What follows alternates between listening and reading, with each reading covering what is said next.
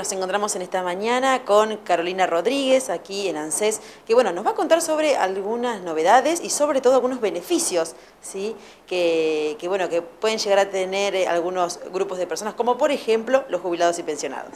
Hola, ¿cómo estás, Celito? ¿Bien? Buen día, ¿cómo están? Eh, sí, eh, la verdad que hay dos noticias importantes en relación a los jubilados y los pensionados. Primero, bueno, en el mes de agosto, ya con el mensual agosto, se va a pagar un bono de 5 mil pesos a todos aquellos jubilados y pensionados que eh, cobren hasta dos sueldos mínimos, estamos hablando de eh, menos de 43.129 pesos, así que ah, todos aquellos que cobren menos de ese valor van a cobrar un bono de 5 mil pesos en el mes de agosto. Recordemos también que ya en septiembre, por ley, van a tener otro aumento, ¿sí? Por ley hay cuatro aumentos por año, uno fue en marzo, otro en junio y el próximo va a ser en septiembre. Pero bueno, atento a que vamos siempre desde el organismo monitoreando el ingreso de los jubilados y la situación, se estableció dar este bono también ahora en agosto de 5 mil pesos para el 83%, alrededor del 83% de todos los jubilados y pensionados que están dentro de ese valor de menos de 43.130 pesos. Eh, decirle también que aquellos que cobren un poquito más y hasta 51 también van a tener un bono que va a ser hasta llegar a ese valor, 51.130 pesos. Eh, así que bueno, eso en cuanto al bono y a lo que va a pasar en el mensual de agosto.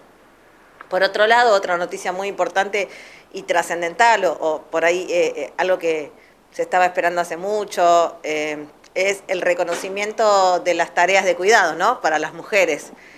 Sabemos que hoy es un tema que está por suerte muy visibilizado y seguramente hoy eh, el trabajo, esperemos, y en muchas casas ya sucede, eh, el trabajo de, las tareas de cuidado de nuestros hijos, de la crianza, es compartida por, ambos padres, pero la realidad es que nos encontramos con muchísimas mujeres de 60 años que no eh, vivieron esa situación, sino que tuvieron que criar a sus hijos y muchas veces no pudieron salir a trabajar o salían a trabajar en condiciones eh, eh, de, desigualdad y no formales, exactamente.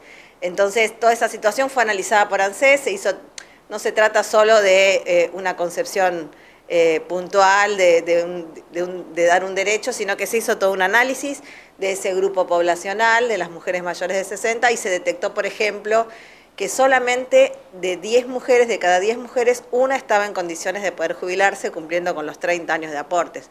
El resto o tenía menos años. Y también otra cosa que se detectó, haciendo todo un análisis y un estudio desde el organismo, es que, por ejemplo, cuanto más hijos, menos aportes tenían las mujeres. Entonces había una relación bastante directa sobre esa tarea que tuvieron que hacer las mujeres en general, mientras hasta por una decisión familiar el hombre salía ¿no? a trabajar.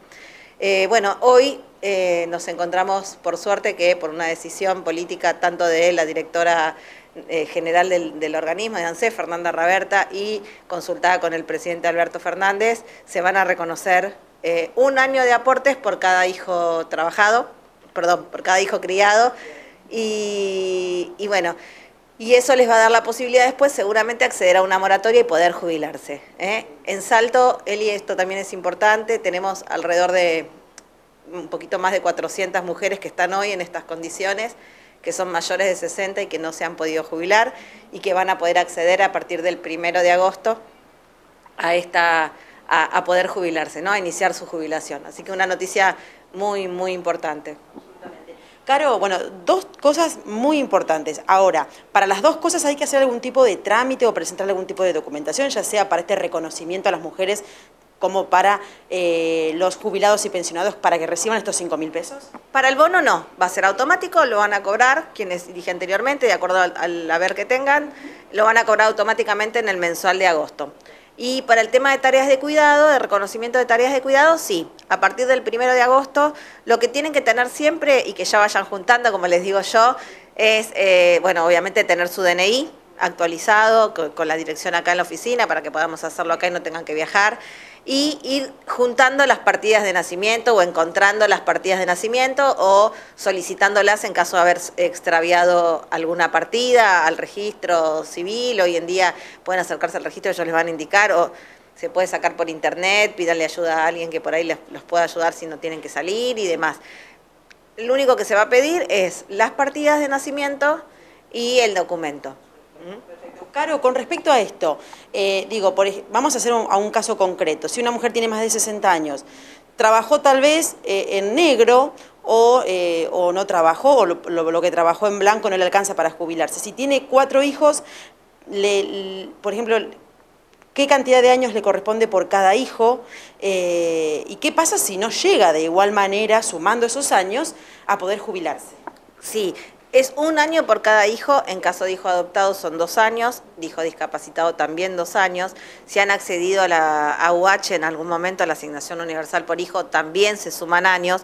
Y después eh, lo que te da eso es una base, una base como sucede hoy, digamos, hoy la ley eh, te permite jubilarte aunque no tengas todos los años y lo que haces después es, eh, sí, acceder a una moratoria que se descuenta a través del haber jubilatorio y completar esos 30 años, ¿sí? Eso es, es importante. Y mm, eso es, así es como van a llegar, digamos. Lo importante es tener una base, que es lo que esa base se la va a dar el reconocimiento de las tareas de cuidado.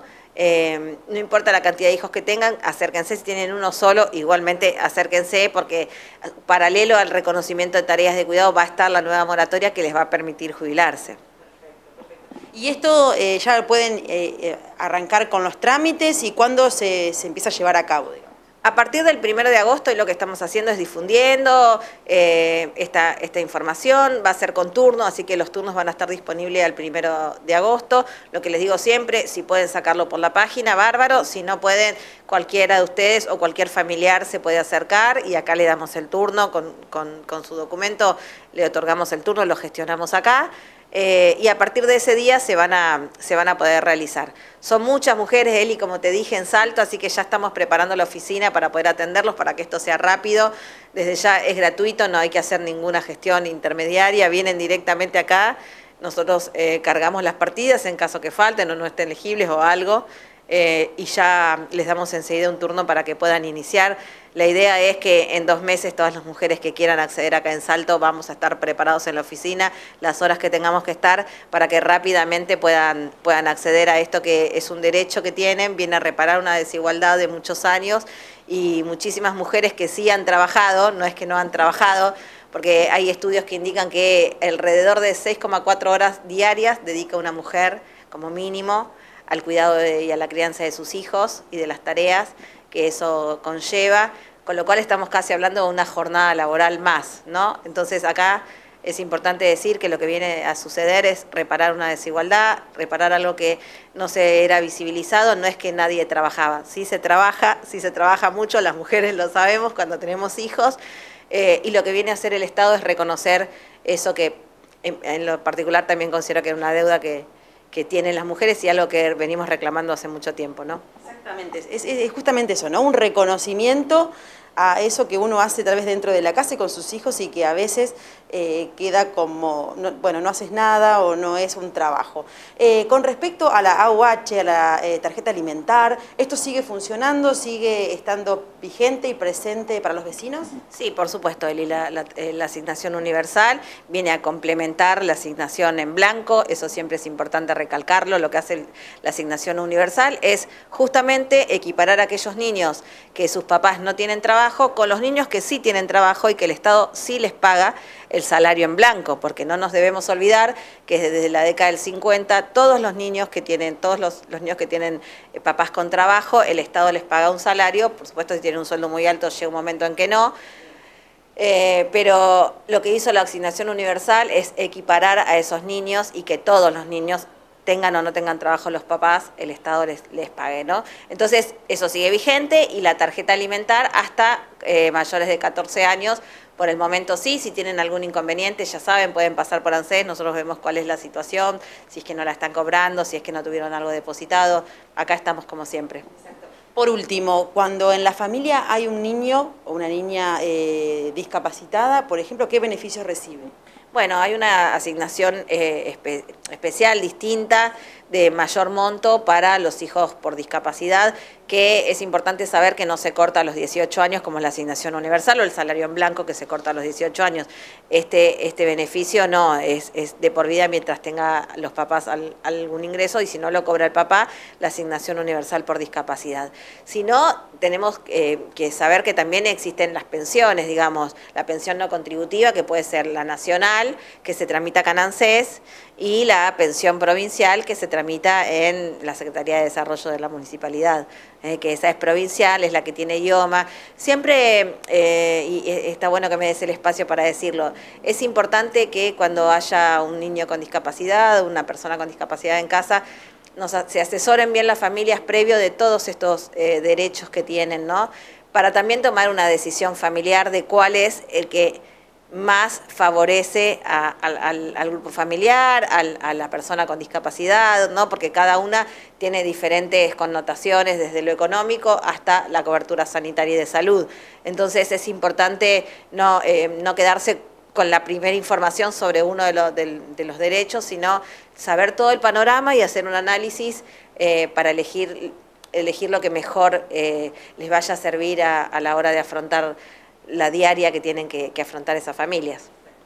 Bueno, Caro, muchísimas gracias, como siempre, y seguramente en otro momento nos daremos otra vueltita, siempre la información que, viene de ANSES es muy, pero muy importante. Bueno, y en este caso, obviamente, con estas novedades con respecto a los pensionados y jubilados y a las mujeres, la verdad que eh, nos parecía también oportuno e importante pasar por aquí. Bueno, no, muchas gracias a ustedes por estar siempre acercando la información y ayudarnos a acercarle a los vecinos eh, la información que hay en ANSES. Es muy importante, este es un organismo que decimos es el, el, corazón del Estado Nacional que llega a todos los pueblos y las políticas que se dan a nivel nacional.